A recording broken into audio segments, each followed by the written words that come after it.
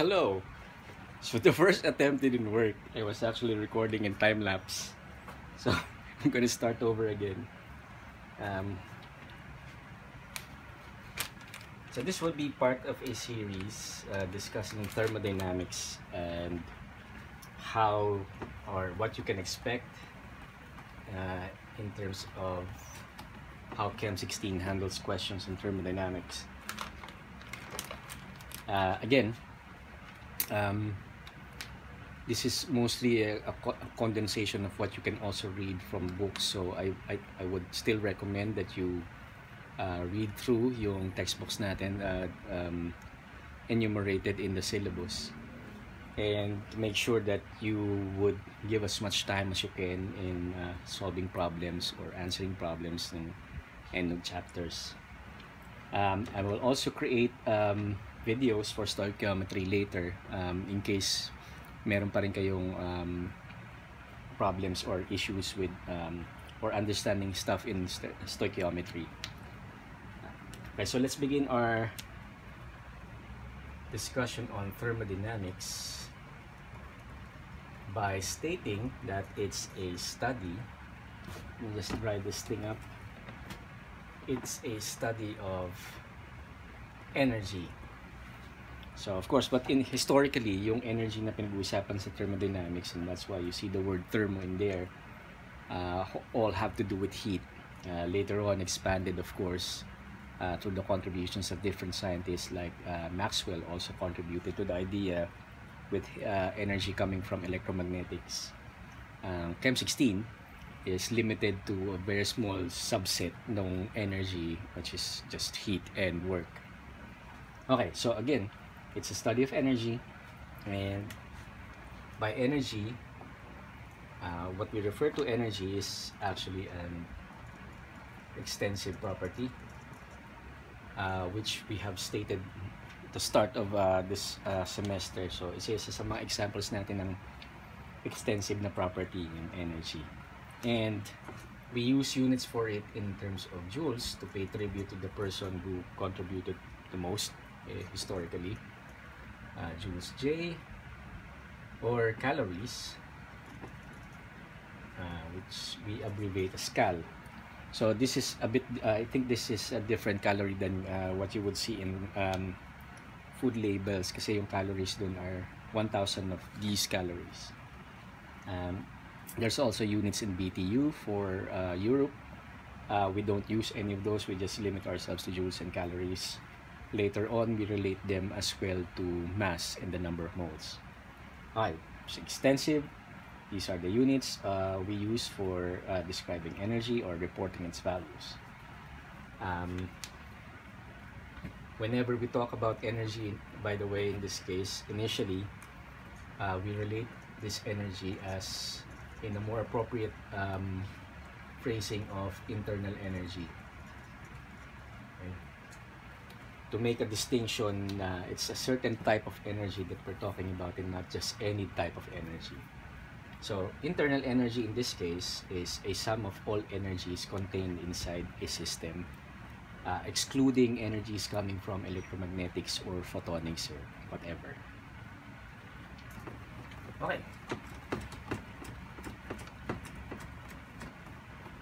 We emphasize on the word extensive to mean that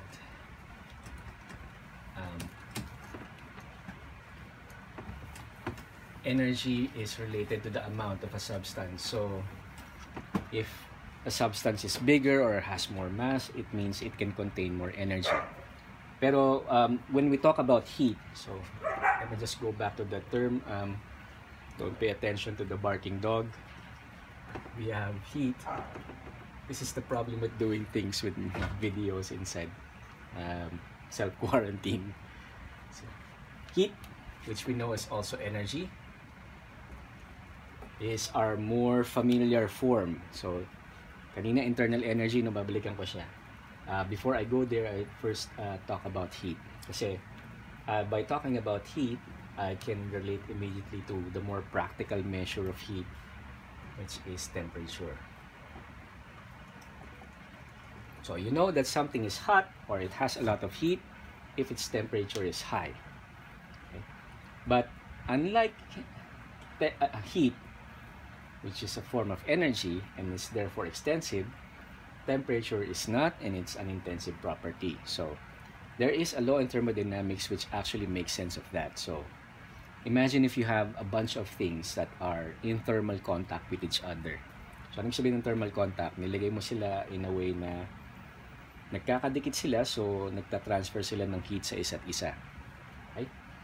If you wait for um, the heat to get transferred completely, so isa sa mga rules yan na alam natin about heat is that the transfer is always from hot to cold. So it's not the other way around. Uh, later natin yung sasabihin kung bakit ganun. Kung meron tayong pagkakataon, that will be in the second law of thermodynamics. Okay, so we know that the transfer of heat is always from hot to cold. So you have a bunch of things in thermal contact with each other. The heat would transfer from the hottest object to the more colder ones until it would uh, until a point where all of their temperatures would be the same. So, dun, nagka, dun nagkakatalo yung temperature and heat. Kasi, even though heat was transferred from hot to cold, magko-contain pa rin yung more massive na object na object dun sa collection mo ng in thermal contact ng mas malaking amount ng energy compared dun sa smaller ones even though all of their temperatures would be the same. So kaya temperature is intensive whereas heat is not. And yung temperature being the same is what's stated in the zeroth law of thermodynamics. Which interestingly was not the first law that came out.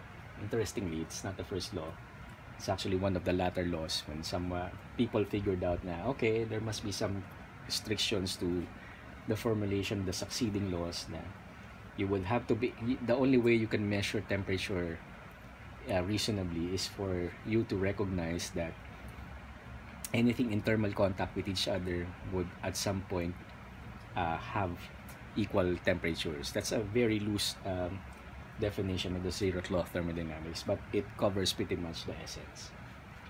Okay, so again, temperature is intensive, heat is not. Let's erase that again. I hope I'm not recording in time lapse again. Let me just check. Alright. Okay. So, alam na natin ang heat. I'm gonna go back to internal energy.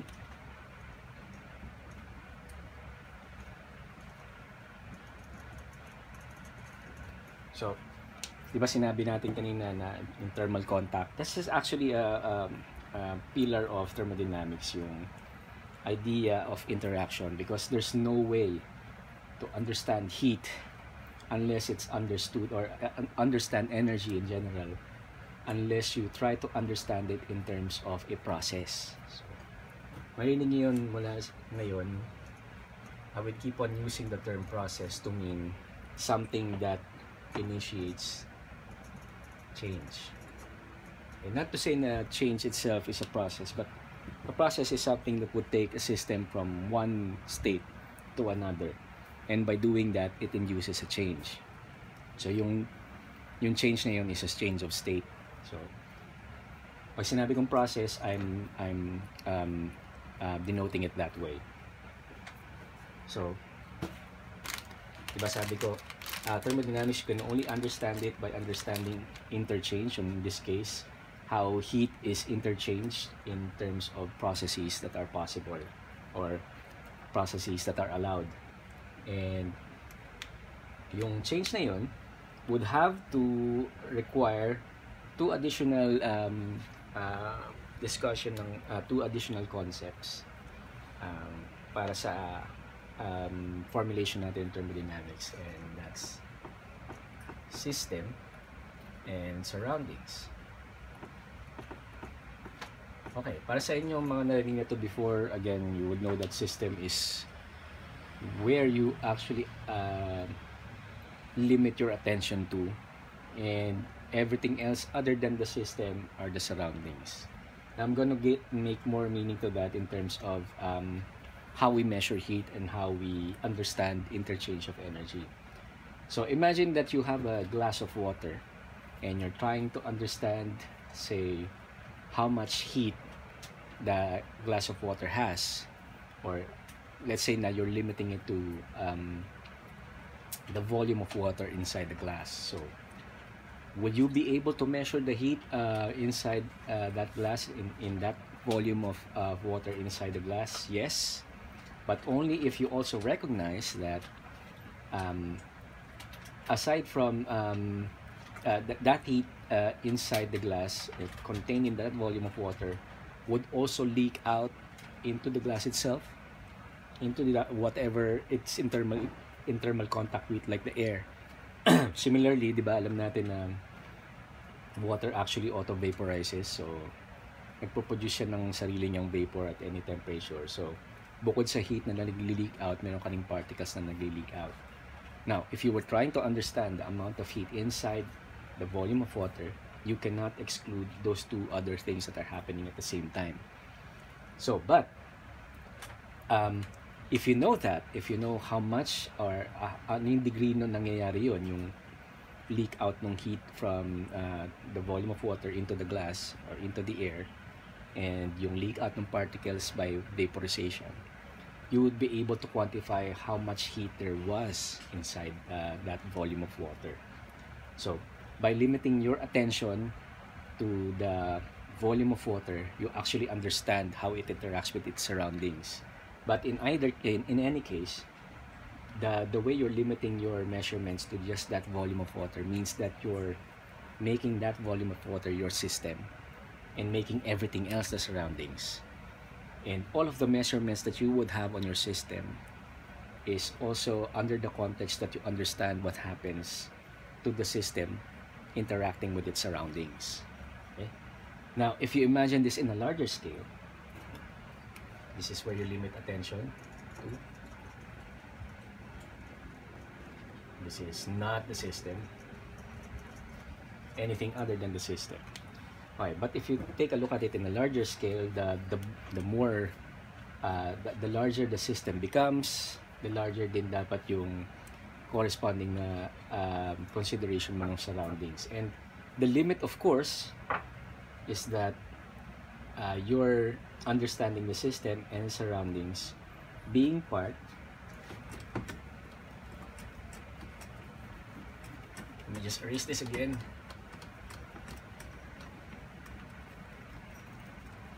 This is the really difficult part. Okay dry it up. Okay. I'm gonna write it this way. System plus surroundings is equal to the universe. So that's our upper limit. Whatever it is you're trying to understand uh, whatever system you're trying to understand is actually just a very small portion of the universe. But to be uh, more technical since you cannot exclude all interactions inside the universe then assist the system plus the surroundings must be the universe. So this is the more general sense of uh, the, the more general way of making sense of system plus surroundings. Although of course hindi natin yung ginagawa kasi it's impossible to take a look at the surround the universe as a whole. There's no way to observe it as a whole right now. But one thing I want to note here and I'm going to use this context ng universe is that we're using the universe here as what's something that's called an isolated system. Because this is where uh, all of the power of thermodynamics comes from. That the universe must be an isolated system. And by an isolated system, we mean that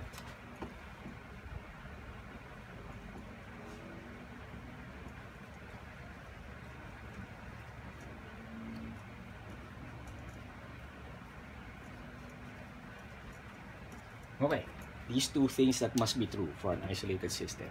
It cannot exchange particles to anything else. And it also cannot exchange energy to anything else. So this makes the universe something that exists and that nothing else is beyond it. Okay? Hindi natin kailangan masyadong i-detalye yun because we're not physicists. We only need to take advantage of the fact that as far as all of our measurements are concerned, throughout the history of man, this is always true. And uh, first, of course, the first um, evidence natin na tama siya is that in this part where we say there's no exchange of particles is where we get our law of conservation of mass. So, this entire thing that I've written here tells us uh, the recipe for getting the first law of thermodynamics.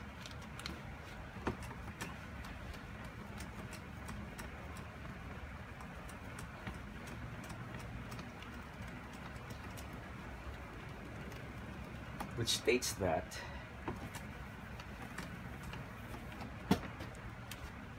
very loosely.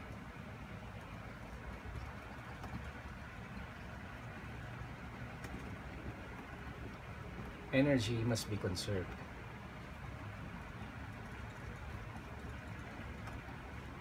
In an isolated system.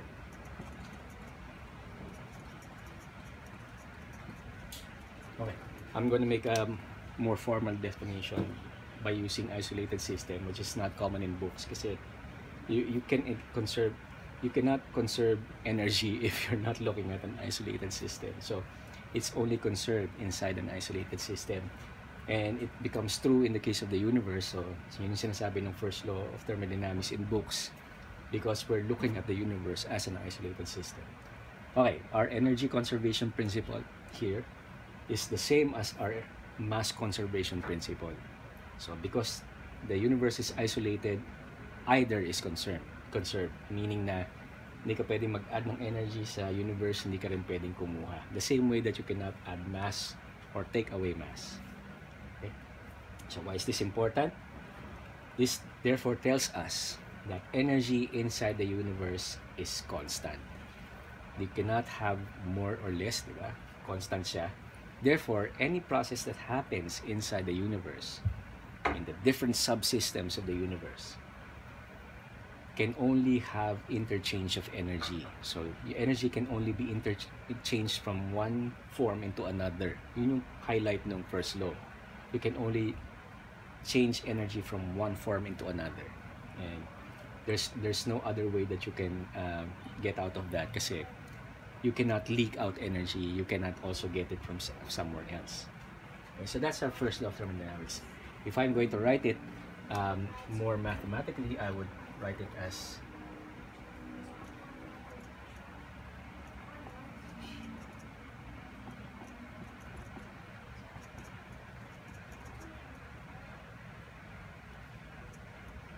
Okay.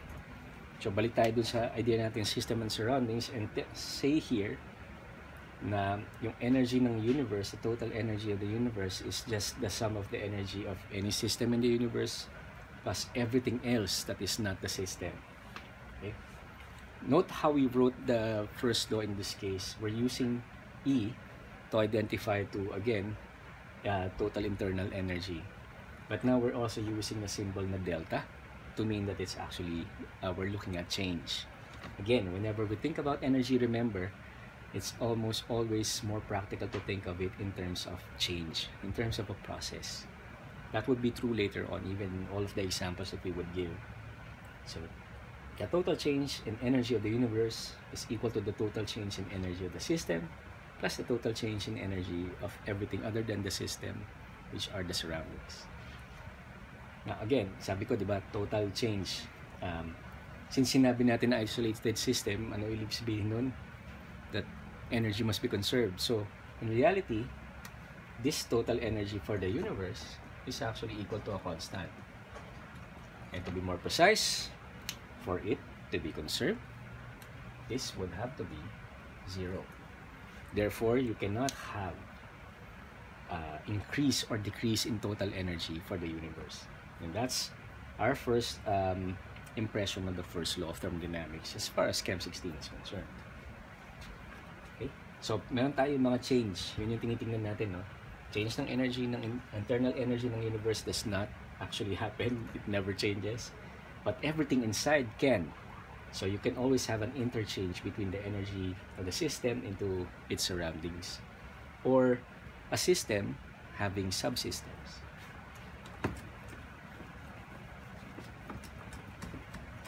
Note our convention whenever we talk about change, we also must talk about direction of change. I want you to remember this because we're gonna go into more details on why we're using that symbol delta in the first place. Okay. Looking at change, we want to know the direction. We have a convention. So whenever um, um, whenever we have increase in energy for the system. Okay. If the energy of the system increases together uh, along with the process then we call this endothermic. We call the process that induces an increase in the energy of the system as an endothermic process.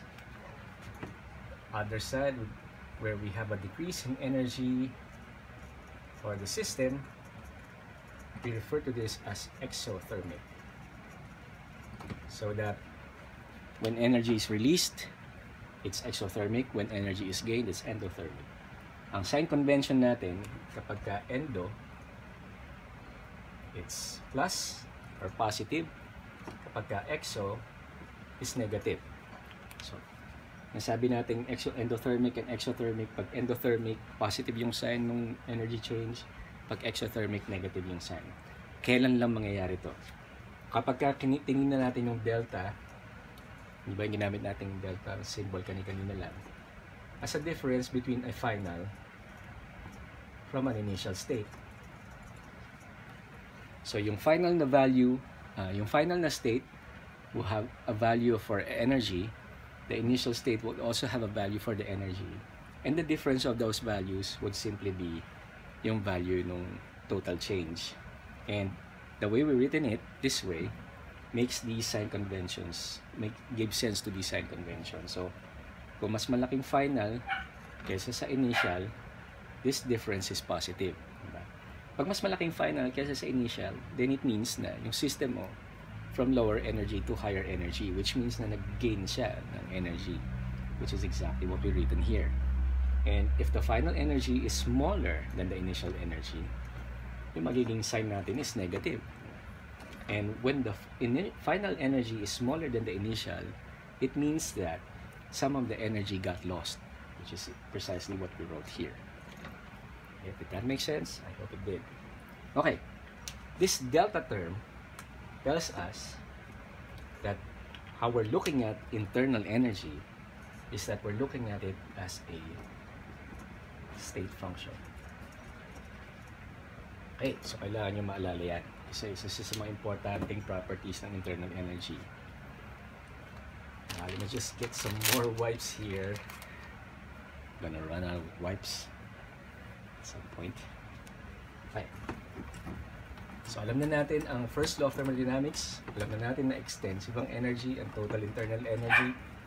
Alam natin na the first law of thermodynamics necessitate that energy must just be transformed and not taken away or are added to the universe.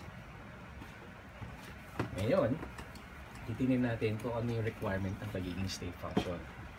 So again, final and initial state means that when you take the system from state A to state B, it doesn't really care what happens in between. So ito yung initial, ito yung final state because of the arrow. So if I reverse the arrow, interchange din sila.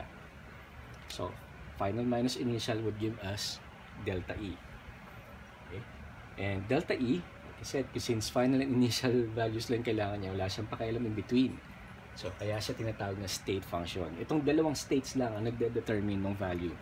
So when we write delta E, it's actually E final minus E initial you would see this behavior in all of the properties where we put the delta on. Delta H, which is enthalpy. Delta V, change in volume. Delta S, change in entropy. Lahat yun makikita natin later on. Okay. So, this is what a state function looks like. What of um, the opposite, which we would call a path, uh, path function? I'm tempted to actually recall yung idea ng functions na to, state function path functions in terms of uh, integral. Para so para sa inyo na naalala or medyo familiar na sa integrals kapag sinabi nating state function it means na definite yung value ng integral. And definite yung integral kasi uh, alam natin yung bounds ng integral. So di ba yung integral sign merong a and b. Ni-evaluate natin yung integral inside kapag ka hindi ganun yung case um, one of the possibilities is that it's a path integral and it's indefinite. Pag sinabi natin path integral we relate that to the path, path function I mean that if there are different ways of taking the system from point A to point B, there are different ways, then although the delta E would always be the same in this case, all other path functions, so lahat ng hindi state function, would depend on which way you actually choose. So, kung alin dun sa mga ways na yan ang tinignan mo, yun yung magde-determine ng path function. So, ano example ng path functions? This would be Q and W. So, Q, which we use as a symbol for heat, and W, which we use as a symbol for work. Okay. So, itong dalawang to ay path, in, uh, path functions. So, magde-determine ng value nila, hindi lang yung values nila at B and A. Magde-determine sila based uh, kung ano yung process na kinuha. So, sa work muna tayo kumuha ng analogy. So you can imagine this uh, being uh, in a uh, in an example na you have a heavy box. There are two ways to get it from one position to another. One way is by sliding the box on the floor, in which case you're just working against friction, or you know part of it would be the inertia because of gravity. Another way would be to lift up the box first, in which case you're working against gravity and then to walk your way to another position. Uh, let me just uh, pause it for a while.